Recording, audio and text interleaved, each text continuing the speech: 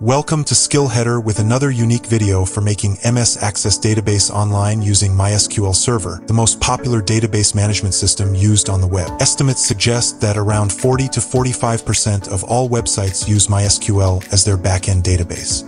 It means whenever to fill in the information using a form on a website, most probably the information will be stored in a MySQL database. In simple words, you are in business. In this video, we will configure MySQL Server database on two different web hosting providers to have a better approach to how things work. We will explore how to configure MySQL remotely from our local phpMyAdmin, how to enhance security to use MS Access Online using MySQL web hosting, and how to configure and connect MySQL database with MS Access. We are using the reliable and tested SkillHeader hosting provider, the Hostinger. Please watch the video till the end. Hey, wait a minute. Why is it at the end of the video? Start your web journey with Hostinger using our extra discount link of not 5, not 10. It is a 20% extra discount with a free domain for the first year and an extended 3 months free, if you prefer 48 months of hosting. These are the general prices for 12, 24, and 48 months, but with our discounted link you can get a massive discount. Like this, you will be a contributor to support us. The link is available in the description for a limited time. Grab this offer now. Yes, you are right because the next mission of SkillHeader is to empower you with web databases using HTML, CSS, JavaScript, Bootstrap, and PHP. You can click on the I button above to access the playlist of the Ultimate Web Login System tutorial.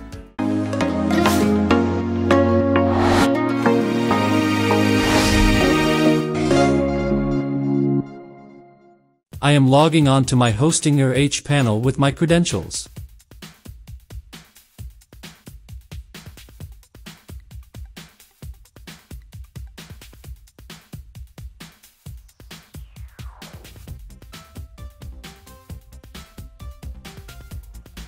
Welcome to Hostinger's new menu structure which is easy to manage all the services.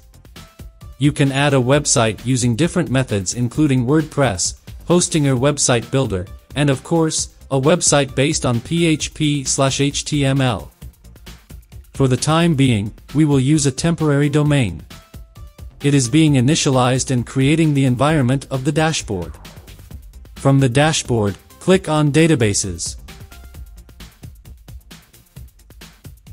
Put your MySQL database name with login username and password to access it remotely from any location.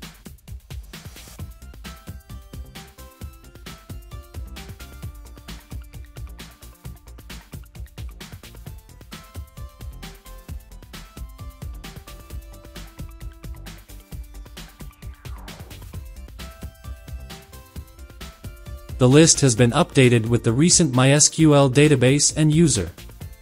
Now, here you can enter into the PHP phpMyAdmin environment directly from your web hosting to customize the database. Later in this video, we will also learn how to access it remotely on localhost PHP phpMyAdmin. Here you can create new databases and tables. I am creating a database with four fields here and insert demo data into the table.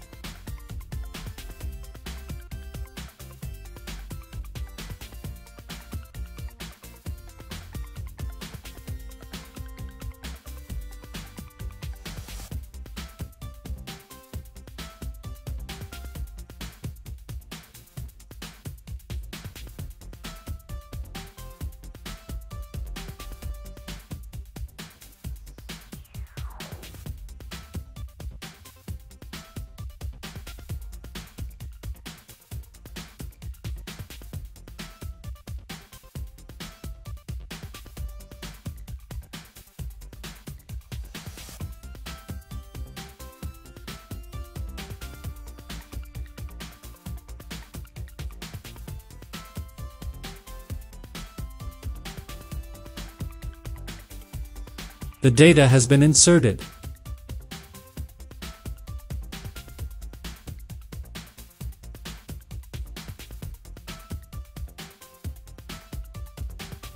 Finally, we need to create a remote database connection. For better security and to use the database on a specific computer, here you can put the IP address. This will not be the IP address assigned by your internet router. Go to Google and write my IP and it will give your computer's IP address. However, you can check the option for any host to be configured with this connection. Now choose your recently created database from the list. It will create your connection.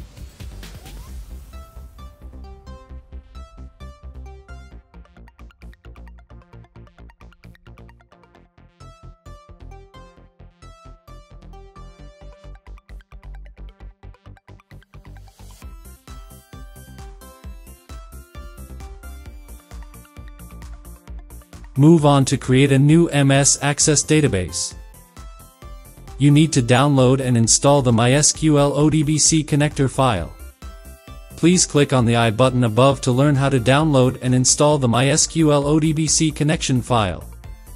All download links are available in the video description. Start the ODBC data source connection from your Windows. Add a new ODBC connection. Click on the recently installed MySQL ODBC option from the list. This is the main window where you can connect MySQL hosting database. After giving any data source name, you need a TCP IP server address. Here you can find the hostinger's MySQL server hostname and IP address. You can use any one of these.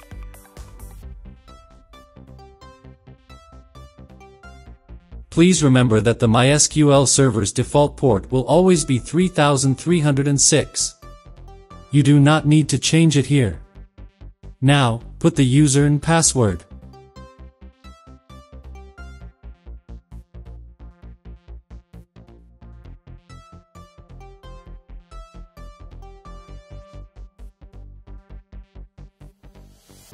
Let us test the connection. Great, as you can see the connection is successful and the database should be available in the list. Select the database and hit OK. Move on to our MS Access database to link the ODBC data source.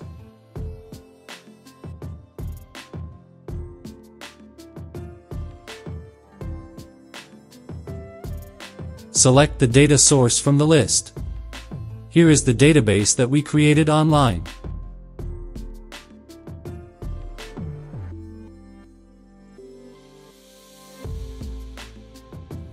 The table has been linked successfully and it shows on the record that we have inserted.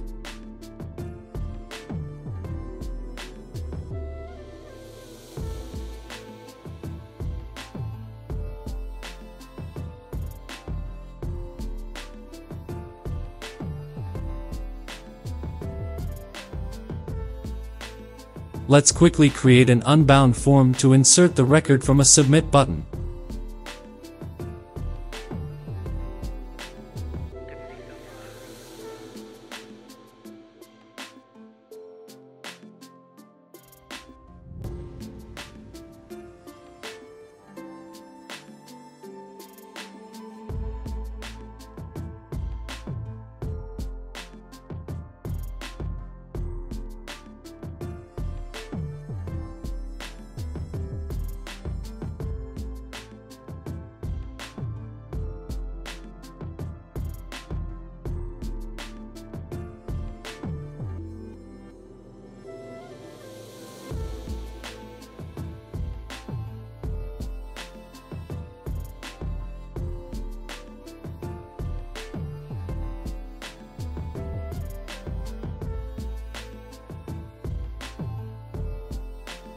As you can see, the record has been added to the table.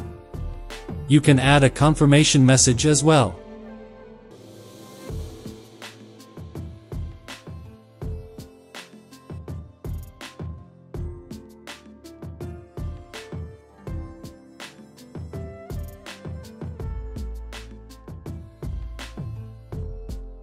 Please subscribe, like, share, and comment.